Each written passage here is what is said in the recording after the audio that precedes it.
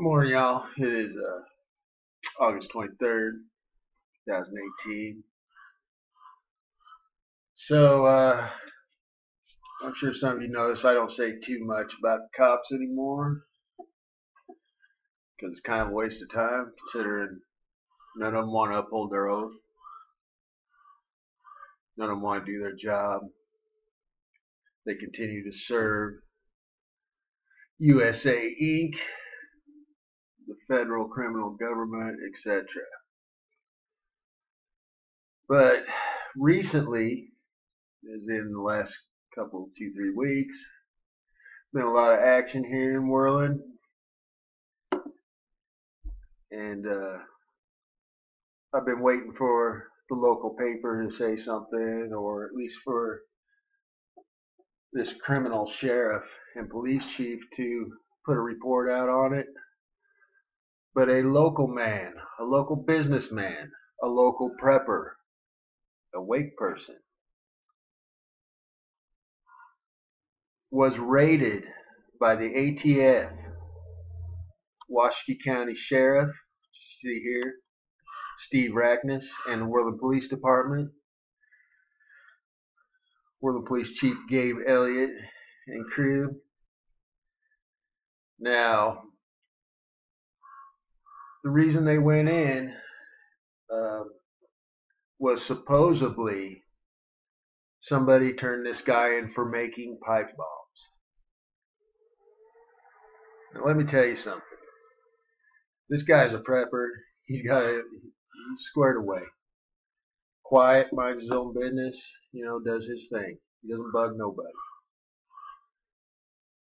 But somebody or who knows, maybe this department, this crooked criminal law enforcement around here made this shit up. I don't know. I'm to send some freedom of information request stuff on it. But anyhow, let me get to the point. Sorry I get to rambling. I'm drinking coffee. It's pretty early. So they go in. Now, I believe it was the August 11th, I think. I'm going to try and get a hold of this guy and see if I can get him to tell the story. Um, because it needs to be told. Because this sheriff and this police chief here really deserve to be behind bars. Not just for this, for many things. And they have it out for me, I'm sure you know, as you will hear as I go on. Anyhow, ATF this criminal, etc., go in and raid this guy early in the morning. Now, from what I'm hearing, they held an AR or an AK to this man's head for five hours while they searched his property and found nothing. Nothing. Nothing. Did they come out and say, give an apology or anything? No. They've been keeping it quiet. And I've been keeping my mouth shut about it because I was waiting to see if they would put anything out about it, which they did not. And they're not going to. But I'm going to make them now. So yeah, held a gun to this nice, nice gentleman's head for five hours. You big tough cops and big tough federal criminal agents. Oh, you guys are so tough. Anyhow, So they they did this, you know, whatever goes on. Well, a few days ago, a local gentleman stopped by and uh, informed me that this criminal sheriff here, Steve Rackness, Worland Police Department, and from what I gather, I'm going to do some uh, investigating and find out and the ATF had a dumpster driver from the city of Worland dump the trash out of my alley, my trash, down at the Worland City shop. And they sifted through it looking for something. What were they looking for? Any excuse. This criminal right here, who is running for sheriff again, why nobody's running against him, I do not was looking for an excuse to have the federal government, the ATF, come and take me out. And when I say take me out, I mean because he knows that if any federal agent shows up at my door or around me, that I will defend myself. So this was a way they could get rid of me because they are butthurt because of this. I'm sure all of you have seen this, or well, most of my friends have. When I called out this sheriff, I want charges against this sheriff. I want charges against state senators, everybody else, blah, blah, blah.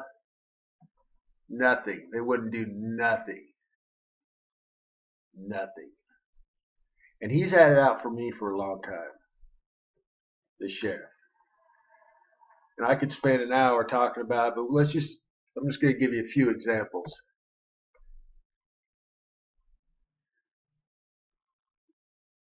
Two thousand thirteen,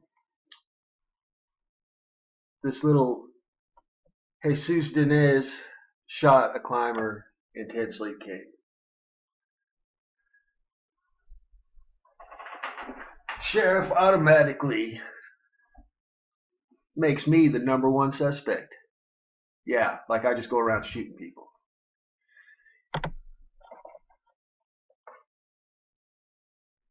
Trying to get me for that. Well, sorry, wasn't me.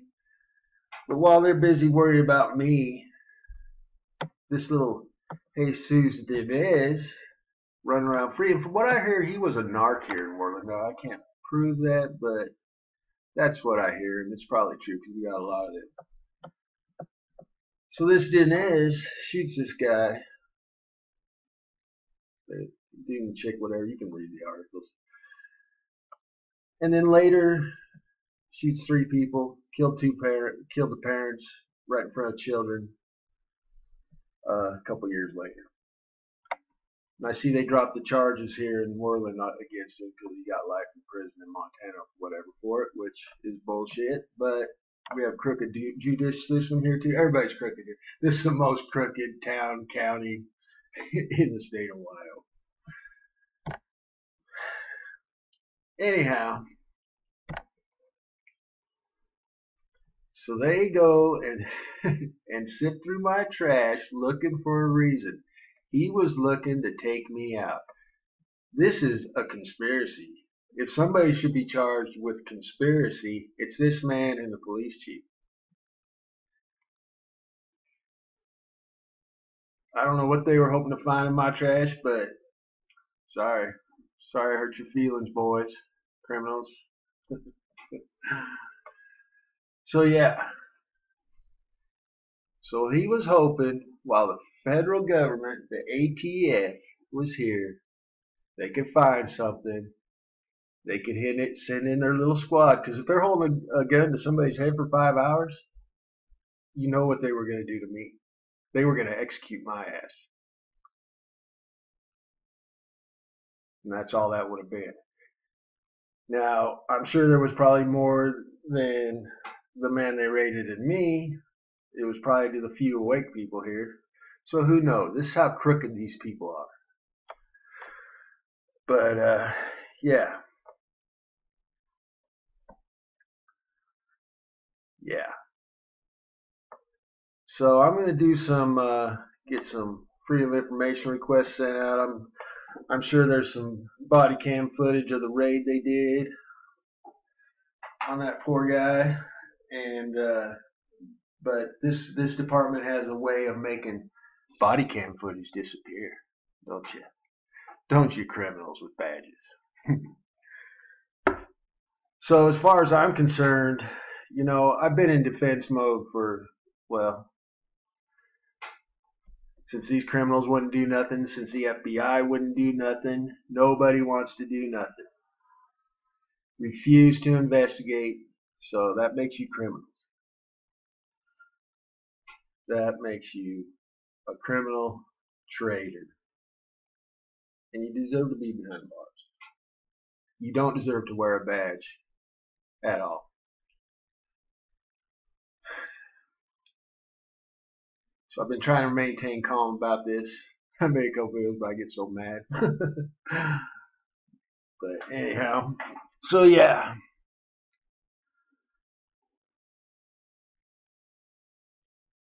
You were gonna try and get me taken down, huh? Sheriff? Police chief? Well, I'm going to suggest you never show your face around me. I'm going to suggest you don't come anywhere near me. Ever. And if there's any way I can do it because of all the other BS false claims and lack of doing your job, I'm going to see if I can take some serious legal, civil action, whatever you want to call it. Because I'm sick of you. I'm sick of all you criminals. But I'm going to tell you what, you ever try and set me up again, ever, you're going to have to deal with me. That is not a threat. That's just the way it's going to be.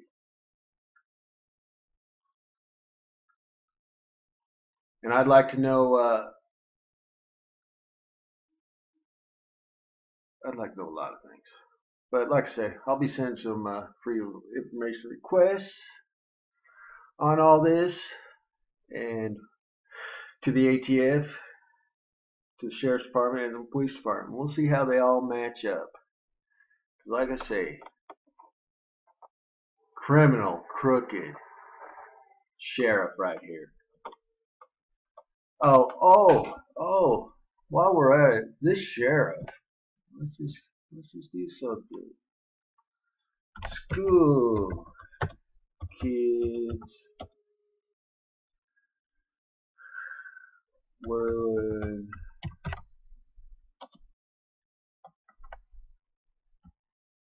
man with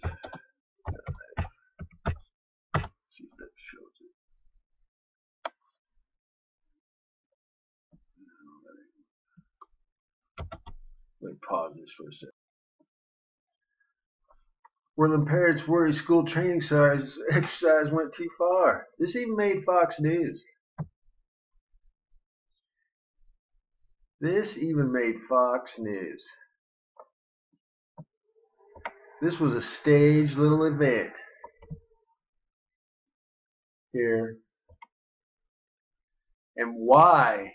Well, I know why, because the people here are cowards and a bunch of programmed, brain dead, stare at your phone sheeple. Why they didn't sue this this outfit? So uh, yeah, chase these kids around, just traumatize them. My niece was there. She's the only one that kept her stuff together, from what I hear.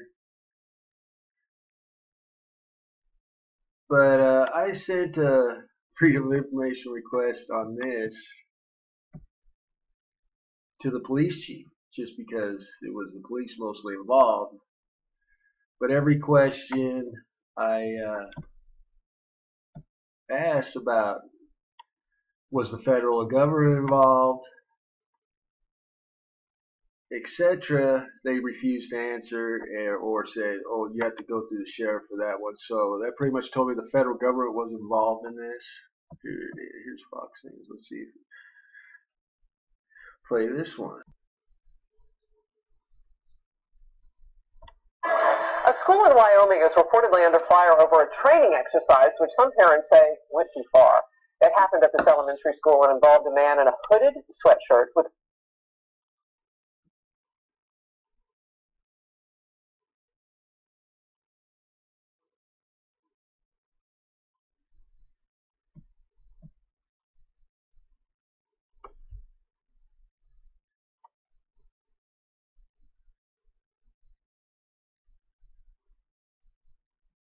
vicious backpack walking onto a playground filled with kids. The drill meant to prepare students for a so-called intruder situation. The school said its gym teacher reacted as planned, tapping the man on the shoulder and telling kids to run. But that's when parents say things started to go seriously wrong, with some students breaking down in tears and others asking if they were going to die or ever see their parents again. Uh, Sandra, I'm going to come to you on this. The facts of the story are that parents knew about this from the county, and they were told in an email very simply low level drill. You're saying the parents were? Yeah, they were told that this was coming low level drill. As I understood it, uh, understood that some of these parents said that they were not notified by email, but the email that the school says was sent May 12th. Some parents are saying that they didn't go out of their way to really let the parents know so that they could let the kids know. Um, but yes, the email was sent out, but it wasn't some blaring thing where it stuck out to the parents to address this with their kids. As a parent, it, it hurts me so badly to hear that a, a kid thought they might die and not see their parents again drills are necessary, but I think the kids should have had a heads up. Yeah. Jedediah, former educator, you yeah. had a visceral reaction. Yeah, this, this is crazy. You have to either get a consent form signed, brought in, but if I were, were the head of, of things here, I would have called. I would have had a conversation with parents because parents need to have a conversation with their kids about this beforehand. It seems like everyone was in the loop except for the kids. So now you're going to have traumatized kids, which is a complete uh, disaster. This is not how they should have handled this. Yeah, I think there's a right way to do it and a wrong way to do it. And I've talked to a friend who has children in Manhattan. The right way is to talk to the kids, talk to the parents, make it very orderly. This this scares me. I mean, I would have been scared if it would have happened. You know, Steve, is this really necessary? I mean, I, I know that there are threats on on every school campus potentially, but is this necessary? Well, you can understand why they'd want to to have. So, like I said, this sheriff bows down to the federal government, doesn't uphold his oath, and there are so many stories. Like I say, this is the most crooked little law enforcement. And in the state of Wyoming, apparently, that not me or a few others have been able to find, nobody can, nobody in the state of Wyoming will investigate these crooked departments or crooked cops. So that's why there is a militia.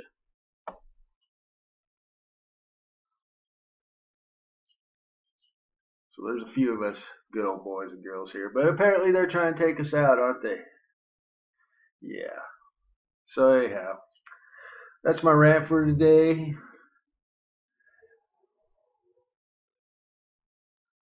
Yeah. Sheriff, police chief, you're criminals. Like I say, don't ever come around me.